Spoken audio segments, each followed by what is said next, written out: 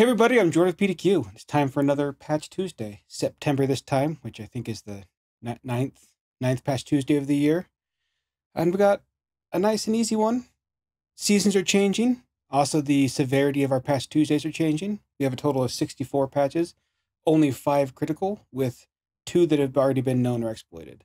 Uh, so out of the ones that are critical, only one of them ranks over 7.8. and It's up to an 8.8, and that is CVE 2023 38148 and that one is a internet connection sharing vulnerability for it's a remote code executable. Uh, the reason it's not listed higher than 8.8 is it does have an attack vector of adjacent which means it has to be on the same network seg- segment. So they don't have to be on your machine run on your machine but they do have to be on a machine that is on the same either virtual network or on the same switch to be able to run this one so it's not real easy to access. But other than that they run this code, they have the ability to run any sort of code remotely. That's usually about as bad as it gets, but it is not wormable, at least not wormable past that network segment. Uh, the next one we're covering is this uh, CVE 2023 29332, which is about Azure Kubernetes.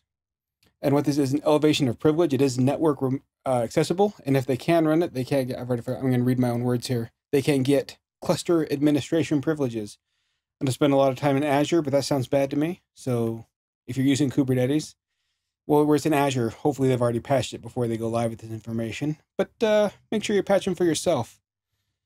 And this last one, this one's kind of fun because I normally don't get to highlight ones that are rated this low. This one is a 6.2 and listed important, and it is a dis- information disclosure vulnerability for Microsoft Word.